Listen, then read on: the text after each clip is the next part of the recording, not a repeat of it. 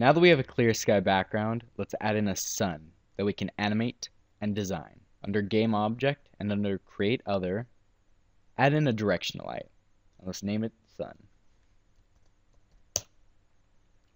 Set everything under the Inspector tab in Transform to 0 except for its scale. Now you can press F to focus on it. Let's add in the game object under Other of a terrain so that we can see how far away we need to place the sun. You'll notice that the terrain comes into the scene at 0, 0, and then the light source is at 0, 0 also, so it's at a corner. We can treat this side as west, and we can move the sun about halfway down the terrain. That way, when it arches over the terrain, it's not going to be to the side of the terrain, but directly over it. The terrain that got added in is 2,000 units by 2,000 units. As you can see when I move the directional light, it affects the z axis. We want the sun to go way far away in this direction, so we want a large negative z number. Let's go with negative 30,000 with the z-axis. Now if you zoom out, you can see it's pretty far away. The arch will start here and end here. Now let's design what our sun's going to look like. We're going to import a flare texture that Unity already has. We're going to open that up in Photoshop we're going to use it as a canvas to make our own sun design. So go to Assets, Import Package, Light Flares, and click None. And you're only going to import the standard asset, light flares, sources, textures, 50 millimeter flare, PSD Photoshop document. Just import that guy, and it should show up in your standard assets.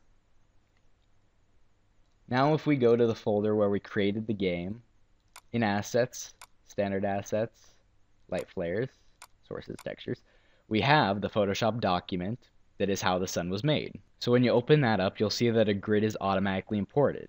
And it has a square for each different part of the sun that Unity is asking for. When we create the flare itself, this is going to be the texture that gets put together as a sun. You can see that each square has something specific it wants. This big square right here is asking for the sun's rays. And we also have an example of what it looks like. Make sure that all layers are unlocked and you are on the correct layer that you're editing. Now that we know what it wants and an example of what it looks like, we can erase what we already have, what it already has, by painting over it. Let's make the brush a little bit bigger.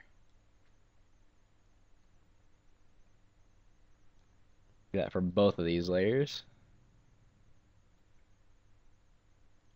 And now we can throw in our own design. We want to make sure that all the designs that we're creating are aligned with the grid properly. So what you can do for the sun's rays is you can select the line tool, set the fill to no fill, stroke to white, have it close to 10 points. point, and when you zoom in, you're going to notice that it gets pixelated really quickly. This isn't something you notice in Unity. It's just that the image size is 250 pixels by 512 pixels. Just as a preference, I don't want my sun's rays to be too long, so I'm going to make them about 0.9 inches in length. And the sun's rays are going to act as a windmill so that whenever you're looking up into the sky at the sun and you move your sight from left to right, it's going to spin.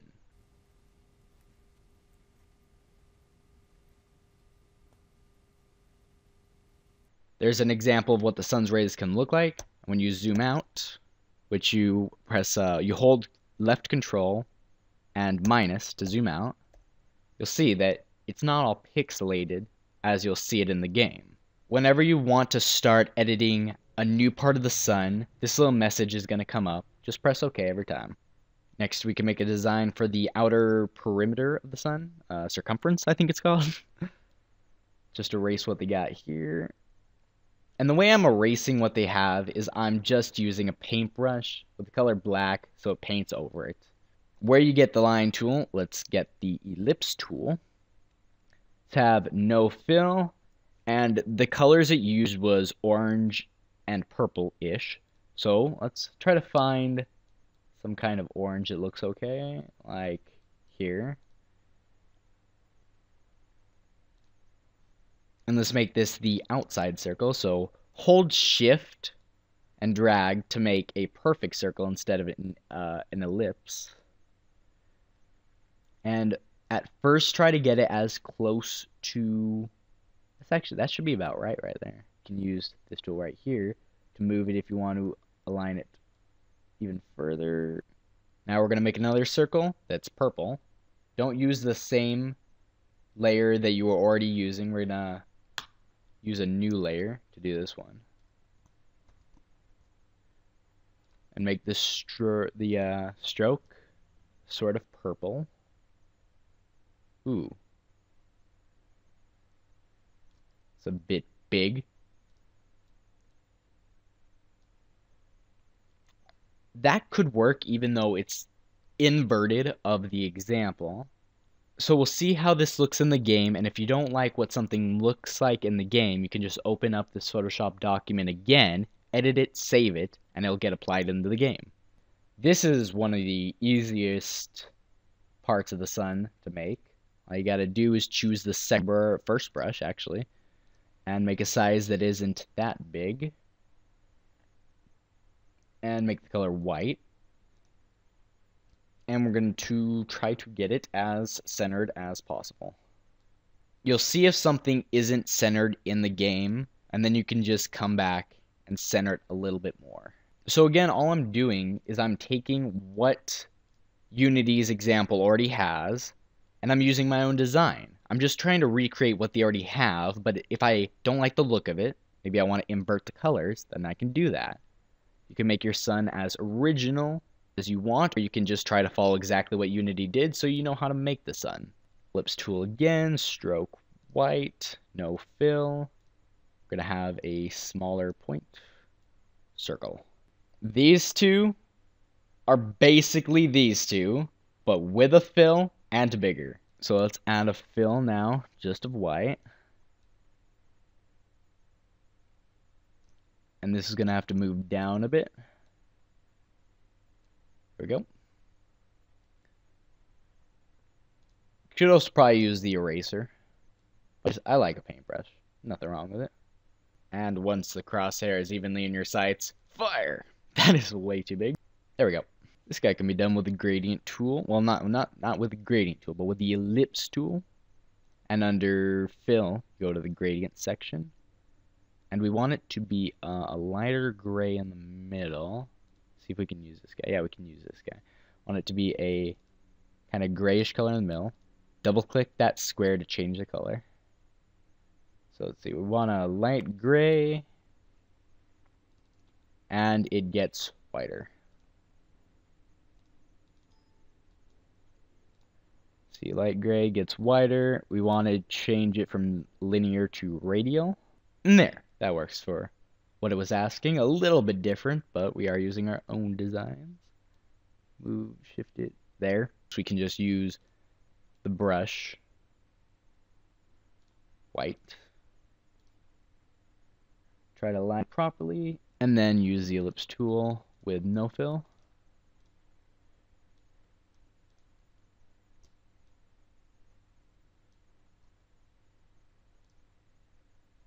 Move it up a little bit can always head back to the tool, uh, yeah, the tool and change its properties, bring this guy down a little bit. So that's a little bit different than what it has, but if you zoom out, it makes enough sense. This can be created with just a combination of two different sizes of that first brush.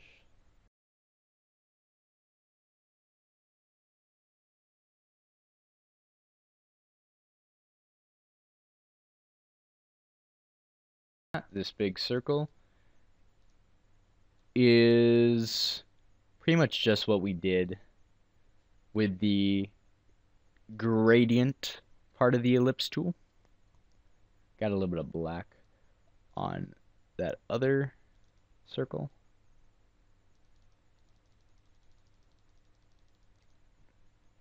So we're going to use the ellipse tool with a radial fill. Just this guy again. Change the colors to what it's actually got is going to be pretty close to what we want.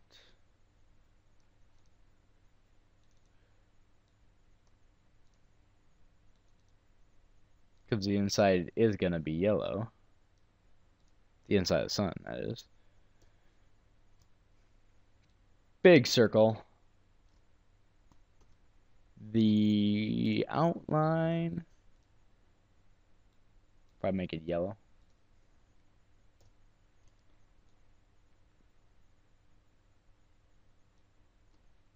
There. That's pretty good for the sun. Last but not least, we have this kind of crosshair thing, which I make a little bit weirdly. I'm sure there's a better way to make that crosshair, but I just make the crosshair with two line tools, setting the pixel width to 3 and the stroke to white. Aligning it, repeating the process for the x-axis. Zooming in and out is holding the left control and either plus or minus key. Now we can basically use the uh, eraser tool. There's nothing really wrong with using the eraser tool to just even, not even, round the edges. Too much round. And yeah, it'll look all pixely. Nothing wrong with that. Just make the edges a bit round.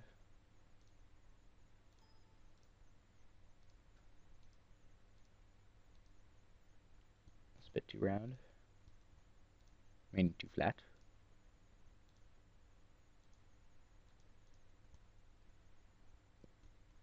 Something like that should be alright. Now we have our own designs for the sun when we actually see the sun, we're probably going to see things we want to change. All we have to do is come back to this document and change them how we will, how we want to. So let's save this as, we can just use a Photoshop document. Unity is all right with that. Let's call this sun design right there where the example was. Now if we go back to Unity, we have our sun design their sun design. You can see differences. you can definitely see differences. And so let's, uh, let's create a folder for our flare because the flare is what the sun's going to look like. So under Skybox, let's create a new folder for flare, making it under Skybox just for organization. Organ, orga, organization, you know what I'm trying to say. And then uh, drag the sun design under init. Put that in. I cannot talk properly today. Let's make the max size 4096, true color apply that. For now, we're going to use this later in the actual flare. And then we can just delete that folder that we imported. We were just using it as an example slash canvas. Now to create a sun that looks something like this, we're going to create a lens flare. So right click on the folder, create lens flare. You can rename it sun. And then with the directional light sun, you're going to drag that lens flare to flare and the settings that you can give it in the inspector tab is to drag your design to the flare texture, set the layout to one large, two medium, eight small. Use, I believe I use seven elements here, but one of them is just uh, the same element twice by accident. Element zero, image index nine. The image index is where it is around here. Size 20, this is how big your sun's gonna be. You can just give it a white color and then keep these settings the same. For element 1, image index 8, size 3, a really dark color. Element 2 was just a little experiment, ignore that guy.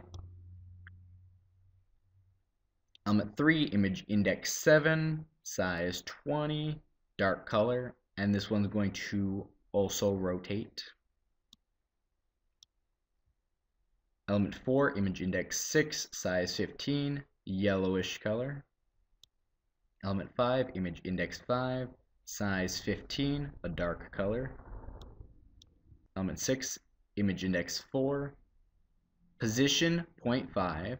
That's setting this little mini sun that far away from the sun. And make the size about 5, a bright color. Feel free to let it rotate. And for element 7, just make the size about 14 and a bluish color, as well as rotate. These are the settings I used to make the sun that you see right here, which I kind of like the look of. And now you have a canvas to mess with what it looks like and settings to mess with what it looks like until your sun looks as you want it to look like. If you have any questions, comment them below, and we're going to make the day-night cycle in the next video.